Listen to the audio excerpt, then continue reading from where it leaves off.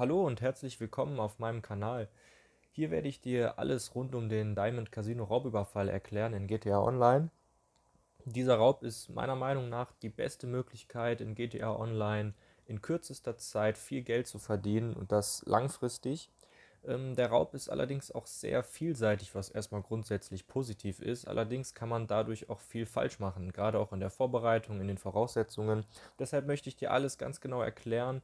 Und zwar habe ich dieses Thema in drei unterschiedliche Teile eingeteilt. Der erste Teil die Voraussetzungen in diesem Video. Ähm, welche Voraussetzungen musst du erfüllen, welche solltest du zusätzlich noch erfüllen und dann werden wir das Casino ausspähen und eine Herangehensweise wählen.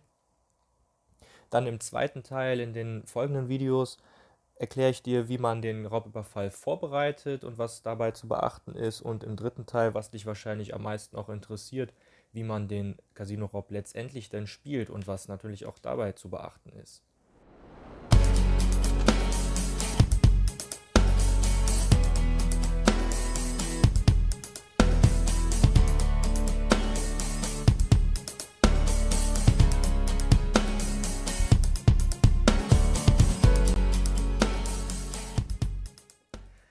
Als erstes musst du dich mit Lester im Park treffen. Und zwar, ich glaube, hier, da ist dann ein grünes L. Da triffst du dich mit Lester, sprichst über den Casino-Raubüberfall und dann sagt dir Lester, dass du eine Spielhalle kaufen sollst. Und genau das machst du dann auch.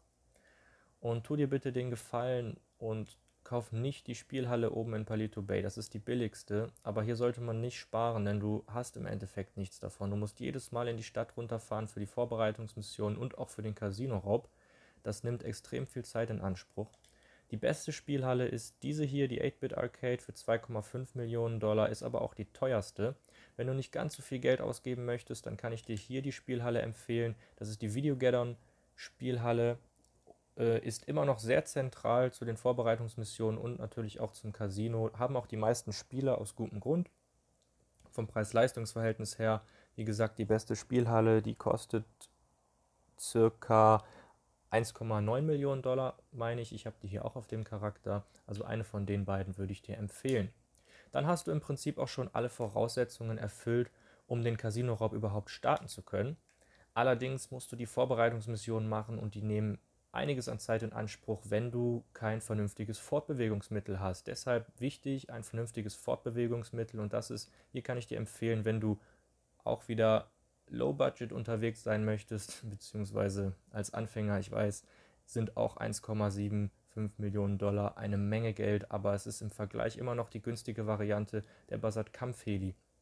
Denn der hat einen riesengroßen Vorteil gegenüber anderen Luftfahrzeugen, denn wenn du als CEO, wenn du im CEO registriert bist oder im VIP unter CEO Fahrzeuge im äh, Interaktionsmenü kannst du den Basat, wenn du ihn gekauft hast, gratis anfordern und der spawnt dann direkt neben dir also beziehungsweise vielleicht hier ein Block weiter wie jetzt, da ist er.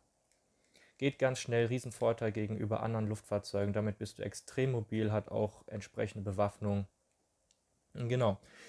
Eine weitere Alternative, dazu, beziehungsweise nicht eine Alternative, wenn du etwas mehr Budget hast, kannst du auch einen Oppressor MK2 kaufen, gibt es auf Wardstock für, ich glaube, 3 Millionen Dollar. Yep.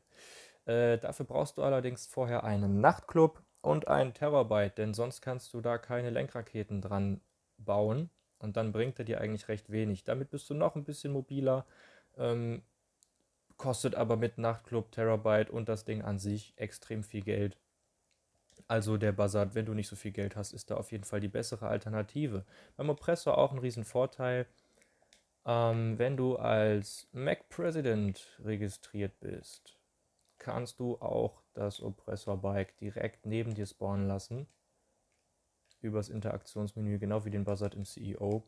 Und du kannst ihn aber auch, wenn du kein Motorrad-Clubhaus hast, kannst du das Oppressor-Bike auch über den Mechaniker als persönliches Fahrzeug anfordern, denn das zählt als persönliches Fahrzeug und kannst du in jede Garage stellen.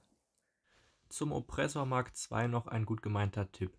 Nutze es nicht so sehr im PvP, es wird nicht umsonst das Noob-Bike genannt es erfordert einfach nicht viel Skill und wenn jemand in der Lobby als Beispiel mit einer Seabreeze oder so versucht, ein paar Bombenkills zu machen und du sitzt gerade auf deinem Oppressor, dann lass ihn einfach in Ruhe. Für PvE ist es allerdings ein super Fahrzeug, beziehungsweise ja, schon Luftfahrzeug. Du bist damit einfach sehr mobil und kannst die Mission schnell abschließen. Als nächstes gehst du dann in deine Spielhalle und gehst hier an diese linke der drei Tafeln ran. Die ist wahrscheinlich dann am Anfang bei dir noch völlig weiß. Und startest die erste Mission, das ist Casino ausspähen. Du spähst also das Casino aus. Ich kann die jetzt hier nicht mehr starten, weil ich das schon getan habe. Ich werde das aber trotzdem simulieren. Startest also die Mission und spawnst dann außerhalb der Spielhalle. Dann begibst du dich zum Casino, musst, glaube ich, den Haupteingang fotografieren. Das wird dir dann in der Mission alles erklärt. Und hier hinten den Personaleingang fotografieren. Du steigst also von deinem Fahrzeug ab, machst ein Foto hier von diesem Eingang und kannst es dann an Lester schicken. Da steht dann Viereck an Lester schicken. Und dann wird da stehen, dass du entweder das Gebiet, das Gebiet verlassen kannst oder das Casino noch weiter ausspähen. Und jetzt späh das Casino weiter aus, denn es gibt noch mindestens zwei Eingänge, die sehr wichtig sind. Das ist zum einen hier unten für den Riesenschwindelraub. Hier von diesem Tor ein Foto machen und an Lester schicken. Und genau, den Personalraum hast du ja schon fotografiert. Der ist für still und leise wichtig. Und wenn du einen Aggressivraub spielen möchtest, musst du hier unten in die Kanalisation und ein Foto hier von diesem Gitter machen und das dann auch an Lester schicken, denn dieser Eingang ist wichtig für einen Aggressivraub. Das sind auch im Prinzip schon die wichtigsten Zugänge zum Casino. Du kannst das der Vollständigkeit halber trotzdem auch noch weiter ausspähen. Ich fliege mal ganz grob die Eingänge alle ab. Es gibt hier hinten noch die Müllentsorgung. Hoppla. Das ist hier, kannst du ein Foto von machen. Im Prinzip kannst du überall ein Foto machen, wo diese Sicherheitstür ist, also dieser Sicherheitskasten. Denn das sind dann in der Regel auch die Zugänge. Hier ist noch eine Tür, hier oben. Da seht ihr auch dieses kleine, siehst du dieses kleine Sicherheitsdingen. Davon Foto machen. Bin ich aber auch noch nie reingegangen. Genauso hier kann man auch ein Foto machen, ist auch ein Zugang, bin ich auch noch nie reingegangen. Hier ist ganz interessant für die Hoteletage ähm, hier ein Foto zu machen, bin ich schon häufiger rein. Ist ganz witzig. Und ich glaube, hier ist dann noch ein Eingang, genau. Und dann am Dach, auf dem Dach oben, sind auch noch zwei Zugänge hier in dieser Bucht. Und hier hinten auch, glaube ich. Muss mal gucken. Überall, wo dieses hier, da ist auch noch so eine Tür. Und dann kannst du das Gebiet verlassen.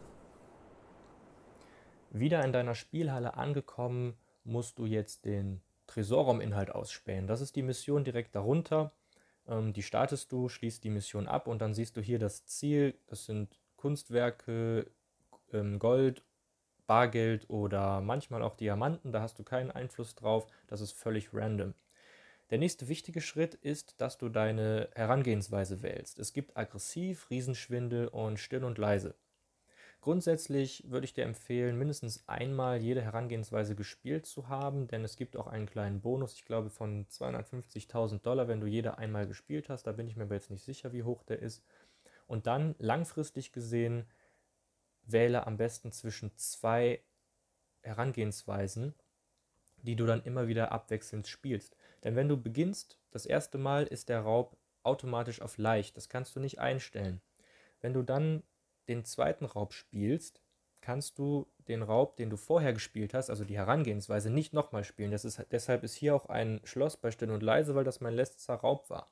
Den Raub, den du davor gespielt hast, den kannst du zwar spielen, der ist aber jetzt auf schwer, da ist dieser Totenkopf drauf, jetzt bei Riesenschwindel. Und das ist gut, denn der ist zwar schwer, das heißt, du hast nur, also du hast kein Teamleben, und du musst ein bisschen mehr hacken, aber grundsätzlich kriegst du auch mehr Geld und das ist genau das, was wir wollen. Deshalb switch immer zwischen zwei Herangehensweisen am besten, damit du immer einen schweren Raub hast. Ich, bei mir ist es jetzt still und leise und Riesenschwindel, das würde ich dir auch grundsätzlich empfehlen. Ich habe aggressiv schon sehr lange nicht mehr gespielt aus zwei Gründen.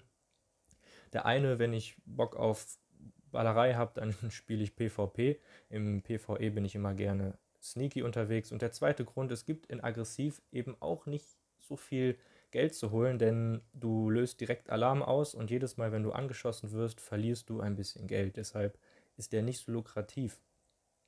Wähl also zwischen still und leise und Riesenschwindel und wechsel dann am besten dort immer ab.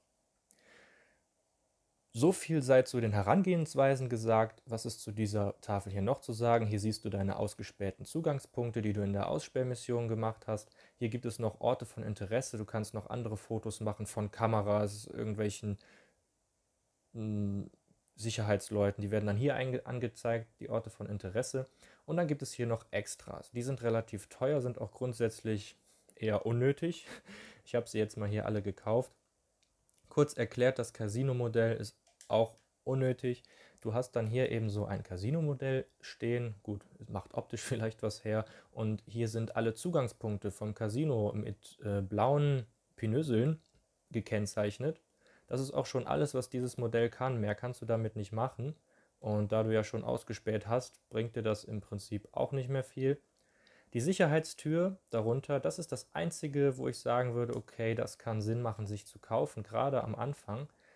Denn damit kannst du das Hacken üben. Die ist dann hier hinten. Jetzt bei mir nicht zugänglich, weil ich noch nicht das Hackergerät geholt habe. Das könnte aber Sinn machen, denn du brauchst auf jeden Fall in jedem Raub einen Hacker, der wirklich, wirklich, wirklich richtig gut hacken kann.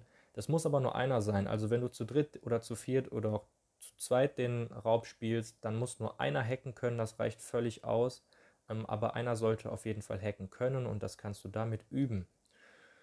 Das dritte hier ist der, die Tresorraumtür, die ist auch völlig unnötig. Die kannst du auch nur kaufen, wenn du ein Casino Penthouse besitzt und bei Miss Baker im Büro die Pläne auf ihrem Schreibtisch fotografierst, dann kannst du das hier kaufen und kannst das Bohren üben. Das Bohren ist aber so einfach, dass es Quatsch ist, sich das hier zu kaufen, denn das muss man nicht üben. Das war es im Prinzip auch schon mit diesem Video. Die Voraussetzungen und ersten Schritte habe ich dir gezeigt. Im nächsten Video geht es dann darum, wie bereitest du einen Casino-Raub vernünftig vor mit der entsprechenden Herangehensweise und danach in weiteren Videos dann, wie gesagt, der Raubüberfall an sich.